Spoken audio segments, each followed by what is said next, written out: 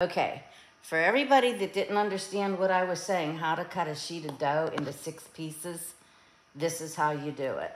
I put it upside down with a little bit of flour on my mat so it doesn't stick. Pull off the paper that comes with it. And I put a little bit of flour on it so it doesn't stick together.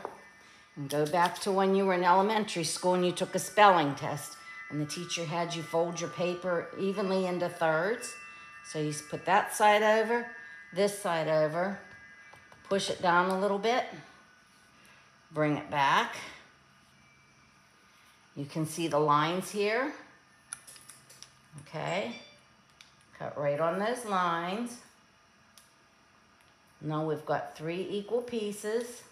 Didn't have to use a ruler. Okay, then to make six pieces, we're just gonna get these and fold them like this. Okay, open it back up, cut it in half. So there's one, there's two,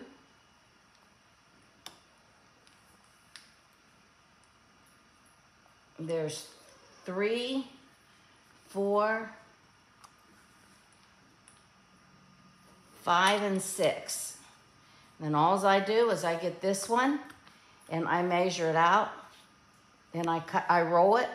I use one of these, but you could use a regular rolling pin and just roll it so it's six inches tall and about six inches wide. If you want your lady locks to have thinner dough, then go crazy and roll them thinner, but that's about what I do.